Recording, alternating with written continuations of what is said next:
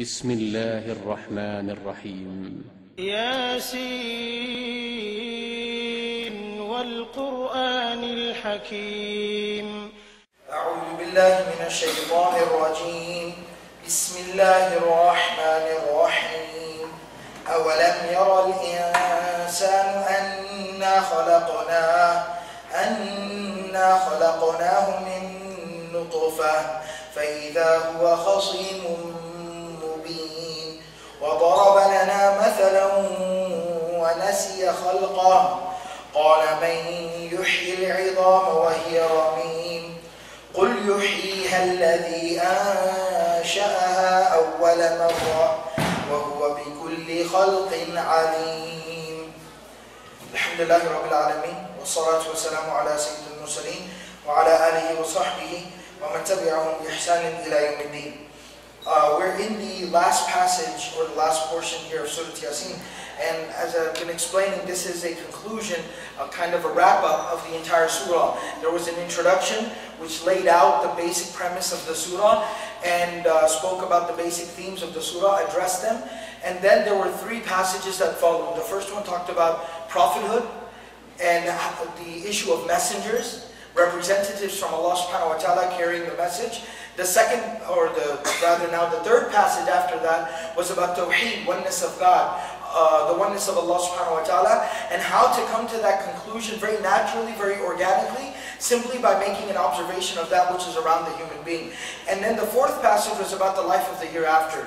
That based on the first, what the, uh, the second and third passage were presenting, prophethood and Tawheed, Tawheed and. How a person would react to these things, how he would interact with them, whether he would accept them or reject them, would determine his fate in the life of the hereafter. And that's what this fourth passage talked about, which was the hereafter, and what will exactly transpire on the day of judgment and in the life of the hereafter, and the fact that there will be two groups, Ashab al-Jannah and then Ashab al-Nar. And we, we, there were two passages, one that talked about Ashabul Jannah, one that talked about Ashabul Nar within that fourth passage itself. Now this is the final portion of the surah, and this final portion is the conclusion. It's basically wrapping up all of these issues that have been spoken about, and it's very synchronized. Uh, yesterday I was able to point out how we studied three ayat that were very, very close and resembled three ayat that we had studied in the beginning of the surah. So this is the conclusion of the surah and part of the beauty of Surah Yasin is how it's been packaged. It's very, very tightly and very properly packaged together. And that's part of the power and the beauty of the surah that it contains the entire message very precisely packaged in a very small, uh, in a very small and manageable portion, the entire message, all of da'wah, the entire summary of the Quran has been put together and can be presented to someone. And that's why we discussed even in the fada'il of the surah, the Prophet ﷺ even recommends for Surah Yasin to be read by, to be recited to people who are experiencing difficulty in going through the pangs of death. It's simply because when they have understood what this surah means and they reflect on the meaning of it, it'll naturally bring, it'll raise their iman, literally. It'll raise their iman, it'll allow them to connect very properly with Allah subhanahu wa ta'ala to be able to smoothly transition to the next life. Now, the, yesterday the portion that we studied, the ayat we studied, it ended with, with uh, ayah number 77, or rather ayah number 76. Allah subhanahu wa ta'ala addresses the Prophet sallallahu alayhi wa sallam, says, فَلَا يَحْزُنْكَ قَوْلُهُمْ You should not be grieved. You shouldn't be troubled by what these people have said that what they say, their words, their words should not trouble you. They shouldn't cause you any grief. Inna na'lamu ma yusirrun wa ma. Why? Because we most definitely know everything that they do privately and everything they do publicly. And, and I explained how this statement of their words should not trouble you. This is both a consolation to the Prophet and it's a very high honor for the Prophet It's great distinction for the Prophet ﷺ that Allah Himself is taking responsibility and saying, don't worry about what they say, I'll take care of that. That's, that's a great honor for the Prophet ﷺ. That's Allah being very defensive. You know when you love somebody and you care about someone and somebody says something, you get automatically get very defensive. You jump in to try to prevent, hey, don't talk to him like that. Who, who do you think you are? You don't talk to him that way. You get very defensive. Because you care so much about this person that just naturally causes that reaction with you. This is Allah subhanahu wa ta'ala defending the Prophet sallallahu alaihi wasallam. And this shows the status of the Prophet sallallahu alaihi wasallam. Now, there's one question that can pop into a person's mind. I explained in the beginning of the surah, because this is a conclusion. In the beginning of the surah, Allah was also consoling the Prophet ﷺ in the beginning of the surah. سَوَاءٌ عَلَيْهِمْ أَنذَرْتَهُمْ أَمْ لَمْ تُنذِرْهُمْ لَا يُؤْمِنُونَ Allah was consoling the Prophet ﷺ in the beginning of the surah. And throughout the Quran, this is a very common occurrence that Allah subhanahu wa ta'ala consoles the Prophet ﷺ and comes to the aid and comes to Allah subhanahu wa ta'ala and the, through the Quran, He emotionally comforts the Prophet ﷺ. Somebody could also ask the question that, was Muhammad ﷺ very, very sensitive? Why does he need so much consolation? Why is he constantly being consoled? Did he take everything personally? Was he offended by everything? Couldn't he take a little bit of criticism? Couldn't he deal with what comes with the territory? This is prophethood after all. This is da'wah. This isn't a walk in the park. Why couldn't he deal with what comes with the territory? Allah subhanahu wa ta'ala answers that objection in these next ayat that we're going to read today. These ayat that we're going to study, especially the first two, 77 and 78, Allah answers this objection, this possible question, this possible criticism that could pop into somebody's mind. That's the first thing. And the second thing is that, like Allah subhanahu wa ta'ala has condemned these people. Yesterday in ayah number 75, 74 and 75, Allah very, very strongly condemned these people. وَاتَّخَذُوا مِن اللَّهِ آلِهَةً لَعَلَهُمْ يُنصَرُونَ لَا يَسْتَطِيعُونَ And I explained, وَهُمْ لَهُمْ جُنْدٌ مُحْضَرُونَ How that was a very powerful and a very scary image. That while these people are being punished and tortured in the fire of hell, all those things that they preferred and gave priority to Allah above and beyond, uh, all those things they gave priority to above Allah, before and above and beyond Allah, all those things will be made to stand right by them and will be watching them. And these people will see their idols and their false gods and their false deities standing there watching them being punished and tortured. وَهُمْ لَهُمْ جُنْدٌ مُحْضَرُونَ So Allah very, very strongly condemned them. That's such a strong condemning of someone is going to be justified here in the next, these next two ayat. Similarly, the consolation of the Prophet ﷺ. Why is the Prophet being consoled by Allah? That will also be justified in these next two ayat. So I just wanted to explain the connection and how this is proceeding forward. So Allah subhanahu wa ta'ala in ayah number 77, He says, أَوَلَمْ يَرَى الْإِنسَانِ Has the human being not seen? Has the human being not seen? Now I explained many times before this word, this comes from the word ra'a, from ru'ya, which means to see, but also when you are having an intellectual, this type of a reflective discussion with someone, and use the word of ru'ya, it also is used in the meaning of to not to just see something on the surface, but to understand it, to process it, to comprehend it, to reflect on it to deeply think about it. That haven't these people realized, haven't they thought about, haven't they reflected? Al-insan, the human being. Now, two lessons ago, in the beginning of the passage,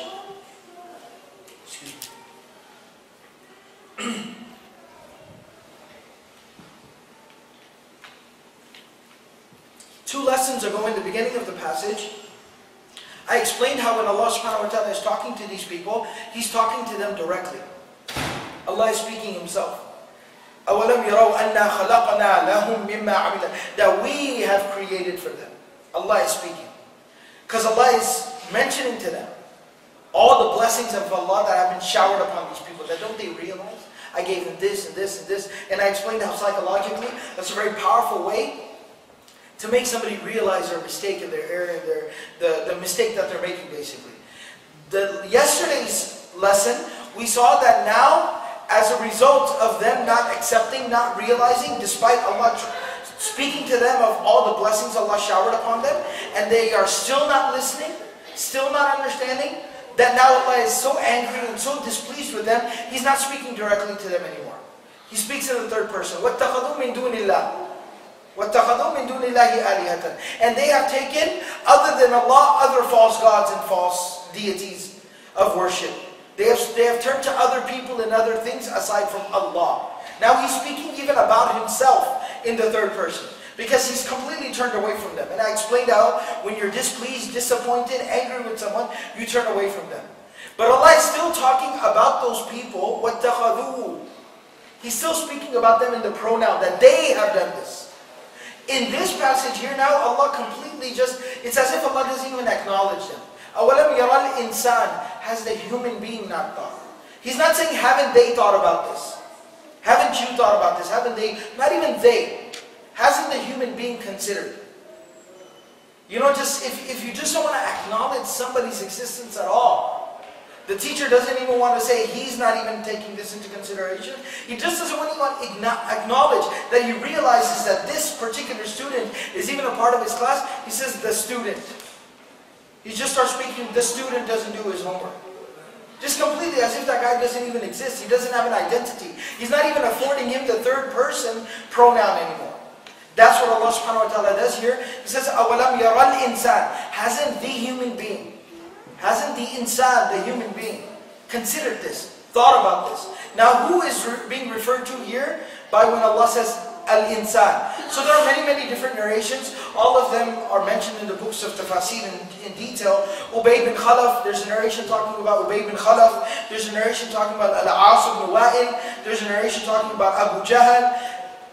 There are narrations mentioning all of these different leaders of the mushrikeen of the Quraysh who were at the head of the opposition to the da'wah, the message of the Prophet.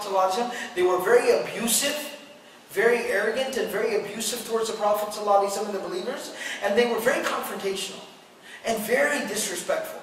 It wasn't just sort of thing like, let's agree to disagree. No, no, no, no.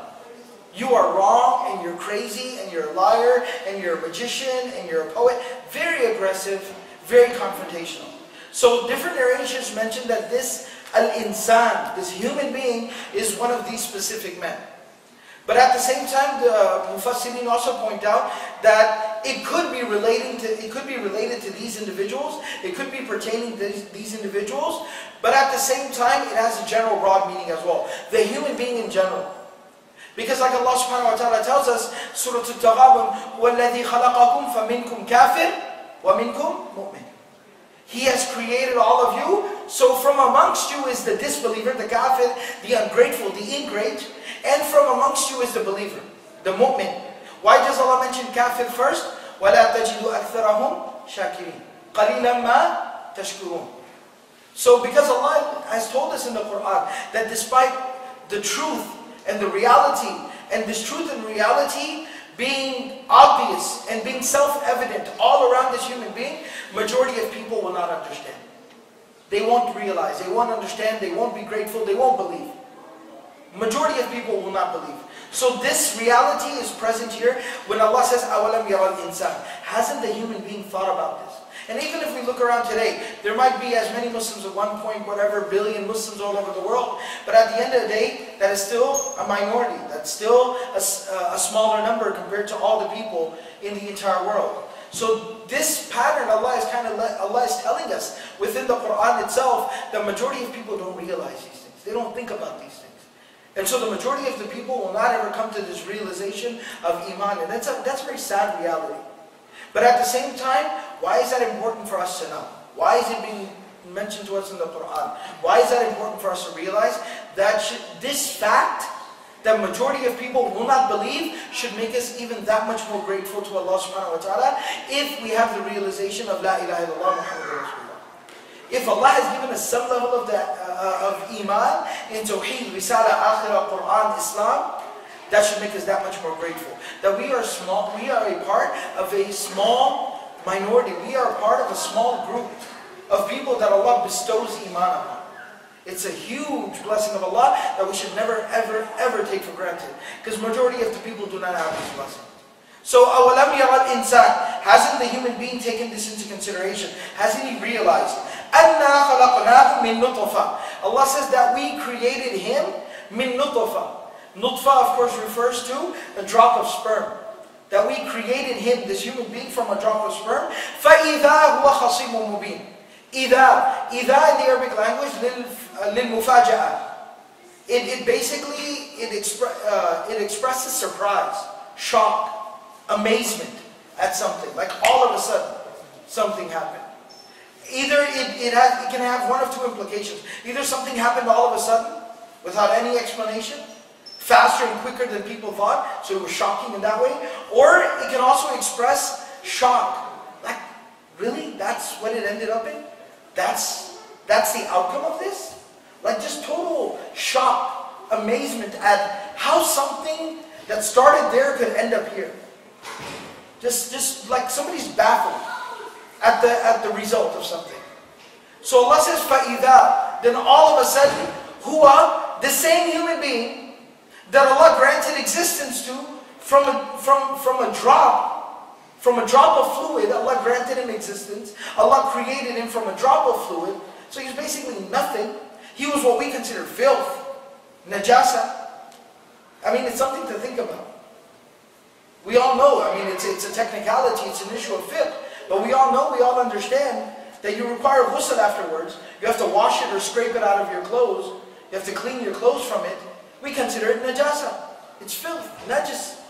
So the Allah is saying this human being, we created him from najasa. Just filth. That's what we created him from. That's his reality. Those are his beginnings. Because the human being is uh, made up of two things. There's the body, the physical element, and then there's the spiritual element, the ruh. Now the ruh has a very noble beginning. It was up in alam al-arwah, stood witness before Allah subhanahu wa ta'ala. They all stood before Allah and said, when he asked, Alastu birabbikum, am I not your Lord and Master? Bala, most definitely you are. So the ruh has a very noble beginning. But the human being, the average, typical human being, what does he pride himself on? Uh, on? The, the physical part of him or the ruh? It's the physical. The body, the physical element. That's what he prides himself on. That's what he likes to feed. That's what he likes to nourish. That's the type of enjoyment and pleasure that he craves. It's the physical, the animal. And that's what, that's what deludes him. It's either his intelligence, or it's his strength, or it's his beauty, his ability. These are the things that delude him. These are the things that uh, make him arrogant. And these are the things that he indulges in and that make him proud, that he's proud of, that he boasts about. So Allah is embedded here. Implicitly, there's a very powerful message. That everything that this human being prides himself on and everything that deludes him, what is, what is the beginning of it? It's filth. It's najasa. It's something you can't even pray if you have on your clothes. There's a very harsh reality here, a very bitter pill to swallow here. So Allah says, أَوَلَمْ يَرَى الْإِنسَانِ أَنَّا خَلَقْنَاهُ مِنْ نُطْفَةٍ That's the first lesson. That we, that's what we created him from. Why is he so proud? Why is he so arrogant, so boastful? So that's the first lesson here. That's the first thing he needs to realize and he needs to think about. Okay, what's the next thing? فَإِذَا هُوَ خَصِيمٌ مُبِينٌ On top of that, you know, crime on top of crime. Sin on top of sin. What is the most, the most baffling thing about this human condition? The, the situation of this human being? Not only did he come from such, you know, pathetic beginnings, but where does he end up? إِذَا هُوَ خَصِيمٌ مُبِينٌ All of a sudden, huwa, he is khasim. Khasim in the Arabic language, khasam means to argue with someone. It means to confront someone and to argue someone. But it means not just a normal confrontation and argument. Not like a very respectful knowledgeable debate. No, no, no. It means like a loud shouting argument. And it means somebody who like, he's pointing his finger and he's stomping and he's yelling at the top of his lungs when he's arguing against you. He's adamant, arrogant, insistent. That type of, uh, uh, that type of a person who's confronting you and who's arguing with you. Khasim. Khasim means somebody who's just really, really stuck on his point. He doesn't want to listen. He's the one who every time you try to talk to him, he says, listen, brother, let me explain to you. And he just talks over you. And he yells at you. And he keeps pointing his finger in your face. And he keeps yelling. And every time you try to talk to him, calm him down a little, oh, he goes at it again. That is khasim. Fi. There's, there's hyperbole in the form of this word. Mubin. Mubin means self-evident. Like he's just yelling. Like you know when somebody gets in an argument very, very loudly, right there in the lobby of the masjid? Or right here in the multi-purpose uh, room of the masjid? Can anybody miss that? Everybody sees it. He's doing it for everybody. He didn't take somebody in a room and then kind of, you know, get into it with somebody. Then when he comes out, then the gossip, the rumor mill starts. Hey, did you hear what he said to him? No, no, it doesn't take that. This guy's standing right there, deriding somebody, deriding somebody. He's degrading him right there in public, humiliating him in public, there for everybody to see. He's making it a public affair, a public situation. He's causing a scene. So Allah says, فَإِذَا هُوَ خَصِيمٌ مُبِينٌ This human being, he all of a sudden becomes very argumentative, very confrontational, and very arrogant, and he's doing it publicly and openly against Allah subhanahu wa ta'ala, against the messenger of Allah, against the Quran, against the truths, the realities of life. So when you put the whole ayah together, what it means is, hasn't this human being realized where he came from? Where we created him from? And then the most shocking thing, فَإِذَا The most shocking thing is, even though he came from there, where did, what does he end up doing? Does he humble himself? Does he listen? Does he realize? No. He starts engaging in argument. And he's publicly arguing and publicly just being disrespectful. Not only that, it doesn't stop there. But then this human being, he thinks he's smarter. He thinks it, the arrogance, it doesn't stop there. Arrogance clouds a person's judgment. It doesn't allow a person to think sensibly, realize what he's doing. So the next ayah, ayah number 78 says, وَضَرَبَ لَنَا مَثَلًا Allah says He gives us an example.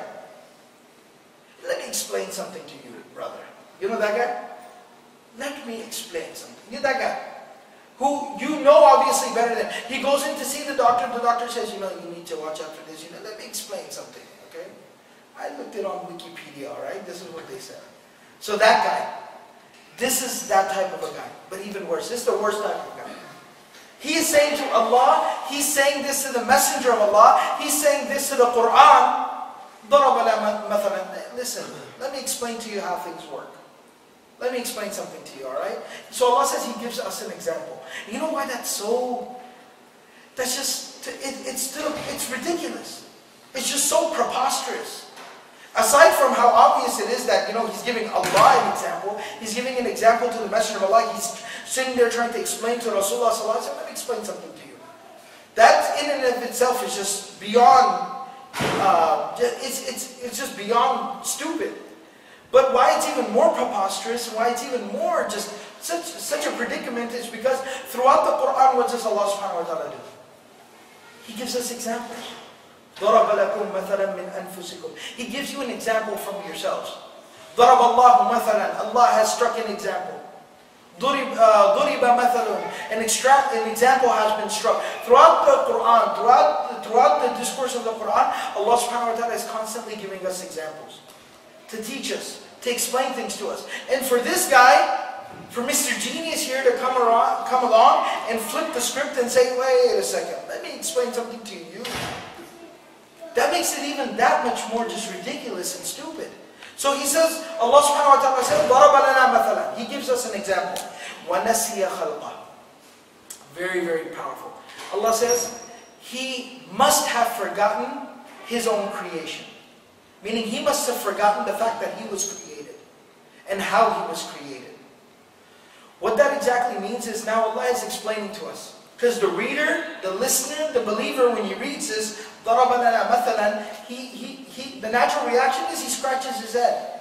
Who would be so arrogant to think that he can sit down and explain something to Allah or the Messenger of Allah? So Allah explains to us, you know how a person could be that arrogant? Or what kind of a person could do that? That person must have forgotten the fact that Allah created him. There's no other explanation for this. Nobody else would be this arrogant. Nobody else, nobody else would be so foolish enough to think that he could explain something to Allah or His Messenger or the Quran. He must have forgotten where he came from. The fact that he was created by Allah. That's the only possible explanation that somebody could be this foolish or this arrogant. He's completely forgotten his own creation, his own beginnings, where he came from, the fact that he was created by Allah. Okay, so what's all the fuss about? What is this example that he's giving?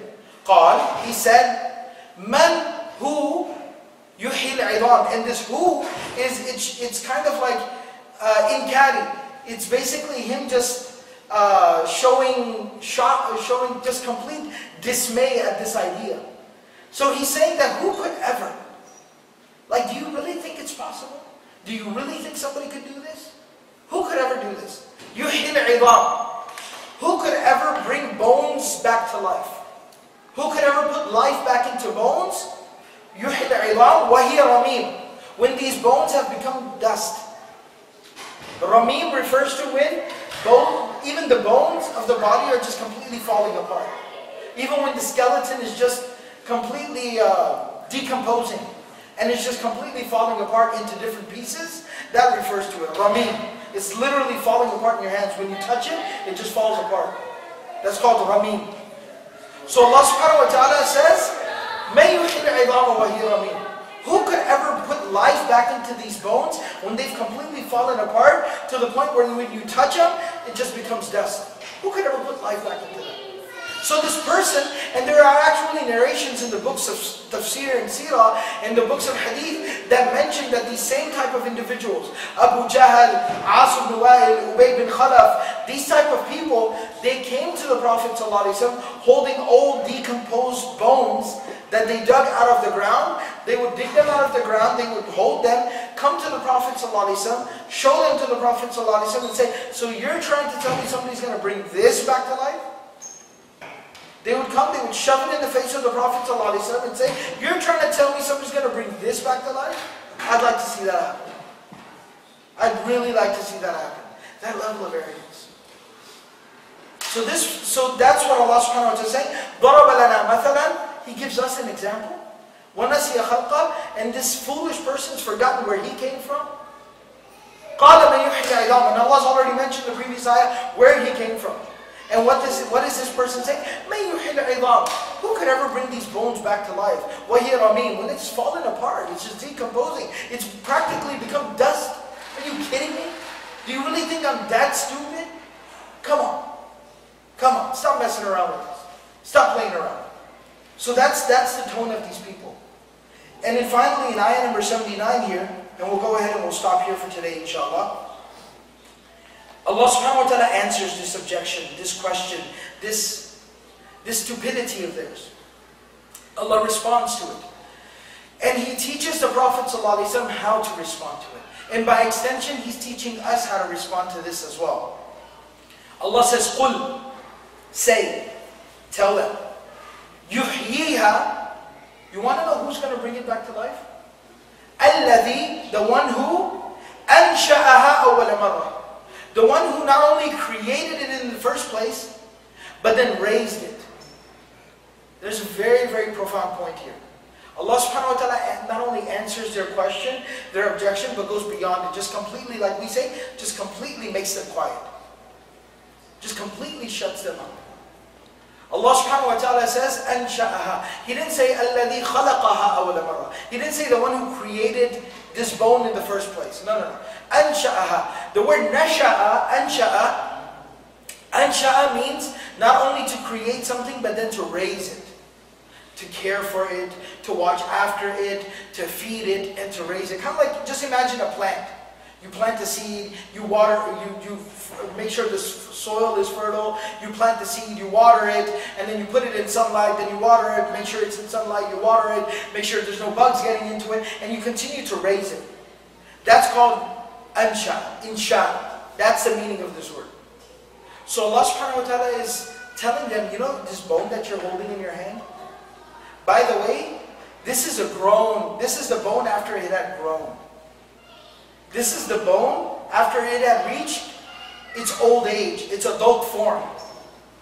But this human being, if it's a human bone that you're talking about, or any animal, any creature, by the way, it wasn't that size when we first created it. It was small. It was tiny. Like a baby, like a child. And then it continues to grow. And who raised it? Allah. Who allowed it to grow? Allah. Not only that, but look how miraculously the human body grows. Not only are, is, are the bones within the body growing and increasing, but the body around it is growing and increasing as well. And everything is proportional. Everything is perfect. تقدير على قدر خلقنا كل شيء بقدر Allah created everything in proportion. He created it perfectly. So the whole body grows with it. And Allah provides that to the body so not only the bone can grow, but the body that's encasing, that this bone is encased in can also grow. And it can flourish. And it can be healthy. So this bone that you're holding in your hand, not only did Allah create it, so the one who created in the first place will bring it back to life, but foolish man, what you didn't realize is that this bone that you're holding in your hand is the end product. This is not how it came. When, when it first arrived in this world, it was small, it was tiny. Allah subhanahu wa ta'ala gave it growth. Allah subhanahu wa ta'ala allowed it to grow. And you're forgetting about that whole process. So this creator that I'm telling you about is so much more amazing than you'll ever realize. He will bring this bone back to life. Because he's the one who created it in the first place. Not only did he create it, but this bone, this hard thing that you, you just can't imagine, you can't fathom how this would have grown, how it was small and it became big. But Allah subhanahu wa ta'ala is the one who gave it its existence. Allah subhanahu wa ta'ala is the one that allowed it to flourish and to grow. And Allah subhanahu wa ta'ala is the one who gave it death. And Allah is the one who's going to put life back into it again.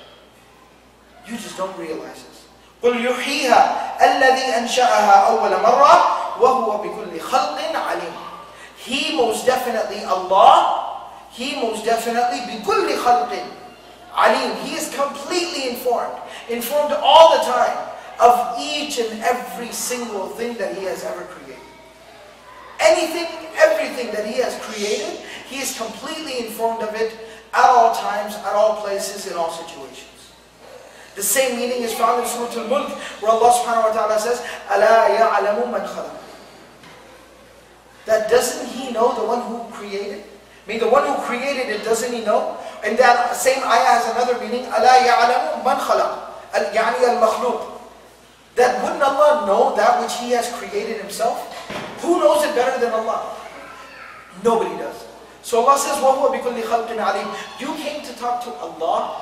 You came to argue with Allah. And you not only wanted to argue, you wanted to give examples, and you had theories, and you had discussions, and proofs, and evidences. You had all these, you wrote a big old, thick old book to tell Allah about that which He created? Are you really that foolish? Allah knows it a lot better than you ever will. Allah knows everything about it. He's the one who created it. And so in this answer that's being given in ayah number 79, two questions. They just asked one question. Can anybody really put life back into this? They, uh, Allah subhanahu wa ta'ala taught the Prophet and is teaching us to not only answer that question by saying, yes, somebody can put life back into it, but to, to specify who is that someone who will put life back into it, that is Allah subhanahu wa ta'ala himself. Not only that, but then to provide proof and evidence to them. Where do you think it came from in the first place? And this growing process, the, the, the life cycle that this bone has already gone through, is proof and evidence, is secondary proof. And secondary evidence of the fact that yes, Allah is fully capable of putting life back into this thing. This is inshallah where we'll go ahead and stop today and we'll uh, pick up from here inshallah tomorrow. May Allah subhanahu wa ta'ala give us all the ability to practice everything that's been said and heard. Subhanallah wa bihamdihi, subhanakallah wa bihamdik, nashhadu wa la ilaha illa anta